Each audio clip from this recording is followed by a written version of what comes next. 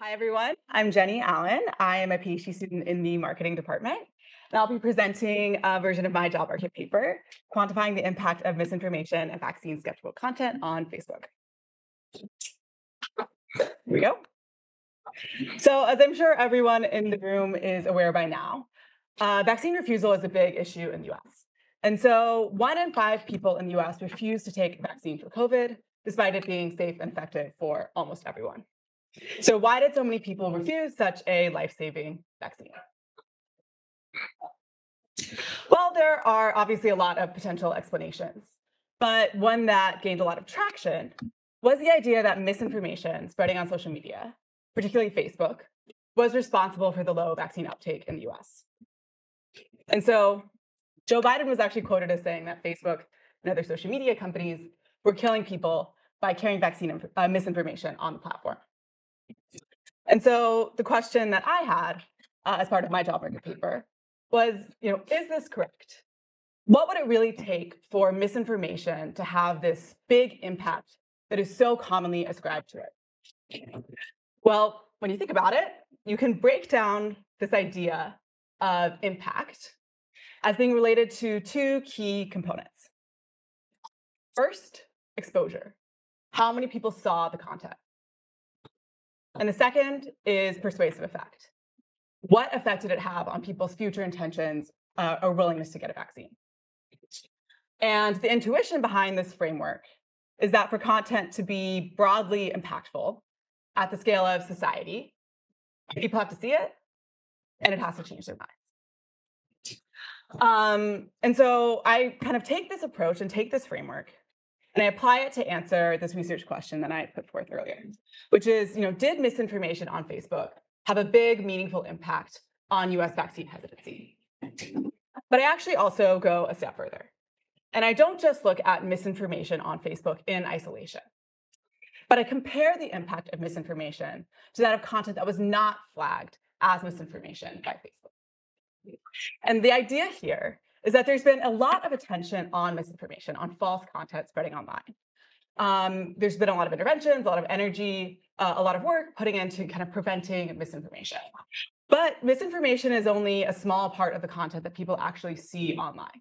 There's a lot else that's out there that really hasn't been as scrutinized.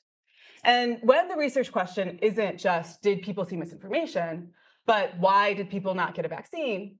Well, maybe we shouldn't just be zeroing in on misinformation as the only possible um, reason for why that, that might be occurring. So I'm taking a really high level view of the entire information ecosystem.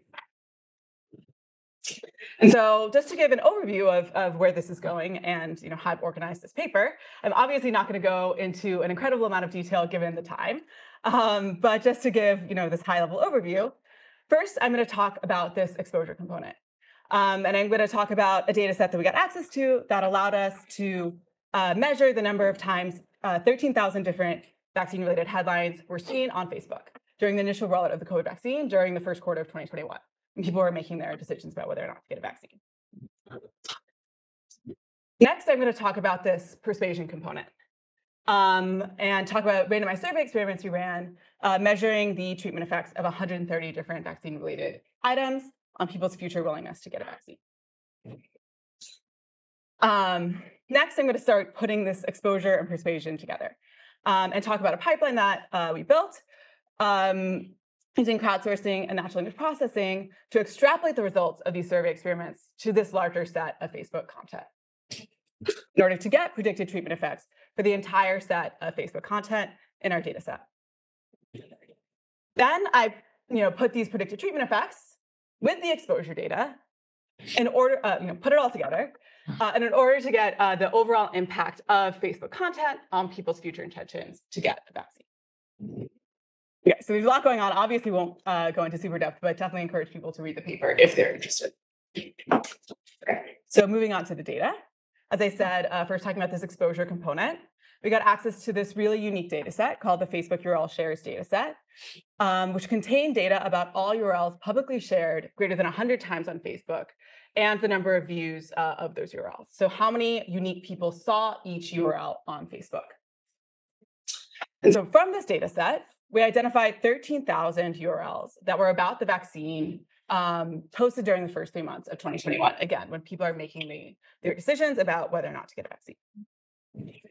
And in this data set, we defined misinformation as URLs that had been flagged um, as such by third-party fact checkers. So all the URLs that fact checkers said were false, partly false, et cetera, um, were uh, misinformation for the purposes of um, this project. Okay, so now uh, this persuasion component. So we ran two randomized survey experiments on uh, the survey platform Lucid um, on a set of representative Americans testing 130 different vaccine-related treatments on uh, about 20,000 subjects. And the stimuli here were a sample of popular vaccine news um, drawn mostly from Facebook, but spanning a variety of different topics, um, both misinformation and factually accurate content from a variety of different news sources, some mainstream media, some you know, low quality news, uh, and, and pro-vaccine, anti-vaccine. So the idea here was to get a large and varied set of vaccine-related content. Um, and for each one of these treatments, uh, we estimated the persuasive effect of exposure to one of these stories um, compared to a control story that was just not related to the vaccine on people's future intentions to get a COVID vaccine. So this is just an example of what this content looked like. We showed people content as if you know they were seeing it scrolling on Facebook. We had things, uh, you know, from you know high quality outlets like BBC as well as low quality outlets like Gateway Pundit. Um, so just to give you a glimpse of what this looked like. Okay, so moving on to the methodology, and again here this is kind of a lightning talk, um, but just to give uh, an overview. Um, we have our treatment effects uh, for our 130 different vaccine-related items. We have these 13,000 Facebook headlines. Um, and what we want is predicted treatment effects for all Facebook headlines. And so we get this by you know, building a pipeline that uses crowdsourcing and natural language processing to, to generalize the results of these treatment effects to this larger set of Facebook content. Kind of got messed up, but that's okay. Um, so again, I'm not going to go into uh, all the gory details, but one kind of really interesting finding that we had is we asked people uh, on um, you know, crowd workers to rate how persuasive they thought each of these treatments were. We asked them, you know, do you think that this headline would increase or decrease people's willingness to get a vaccine? And we averaged together all their responses to create uh, this crowdsourced aggregate score here. And we use this score to predict um, the actual treatment effects that we observed in, uh, in our experiments. And we find that it actually, um, there's, there's a good uh, predictive power here. And so there's a correlation of about 0.75 once you account for the sampling error um, in these treatment effects. And so the crowd is actually able to predict variation in the treatment effects to a reasonably high degree. But one thing to note here is that if you split this uh, crowdsourced score at the midpoint, which I've done here, um, there's a lot of content that lowers people's willingness to get a vaccine, but very little content that actually increases people's willingness to get a vaccine. And so um, there's a lot here that's below zero and like essentially nothing, you know, increasing people's willingness to get a vaccine. And so because of this asymmetry, uh, we're mostly going to focus on content that is lowering people's willingness to get a vaccine because um, our question is really related to vaccine hesitancy. Um, and so, you know, it seems like the crowd is doing a pretty good job, uh, but the crowd is really not sufficiently scalable here. And so we have 13,000 headlines, and eventually um, the idea would be this is a, a, pipeline that platforms or other researchers could use. And so um, ultimately the crowd is not going to be sufficiently scalable. And so as a solution, um, we uh, use natural language processing. And so we gathered crowd labels for a sample of our uh, headlines, of these 13,000 headlines, and then trained a BERT model to predict these crowd labels from the headlines and descriptions of each of these URLs.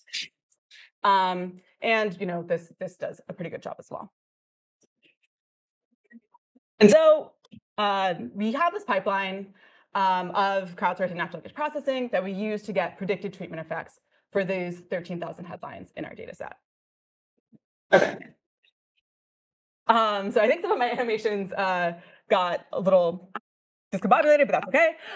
Um, but so just to look at the distribution of the headlines here.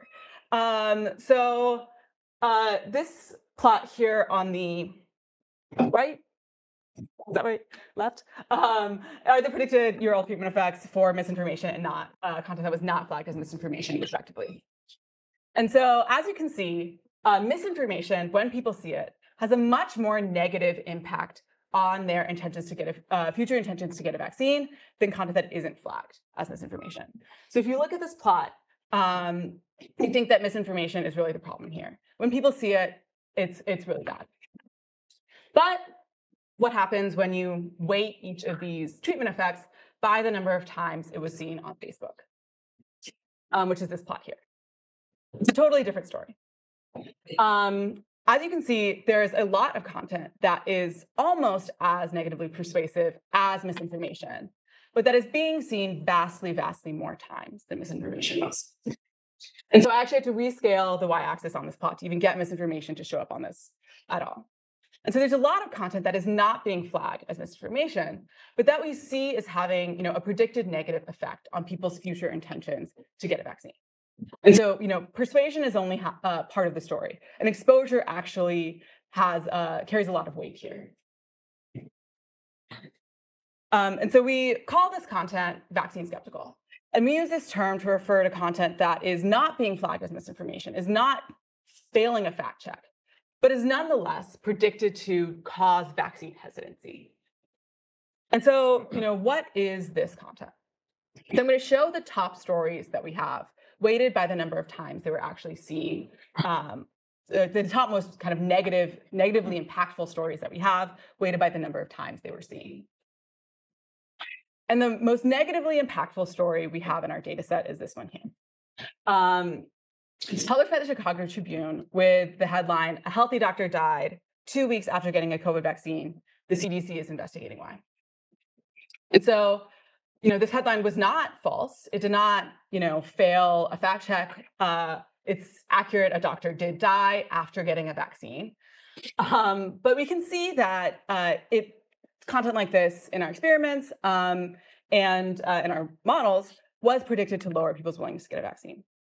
And it was seen by 50 million people on Facebook, um, which is actually more than five times all of misinformation combined.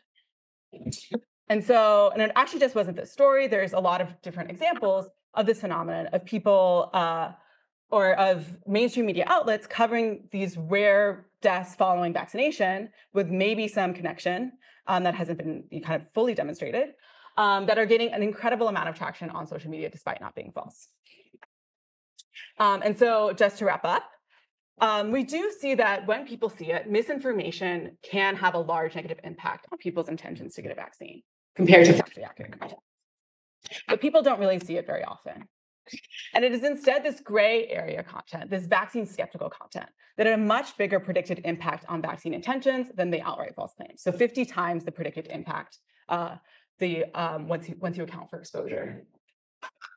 And so just to leave you, um, if uh, by identifying content based on its predicted harmful impact, and not just myopically looking at you know, false content at misinformation. Um, researchers and also platforms could really much better uh, prevent the harmful impacts of their platforms. And so that I'm I'm done. Um, happy to answer any questions.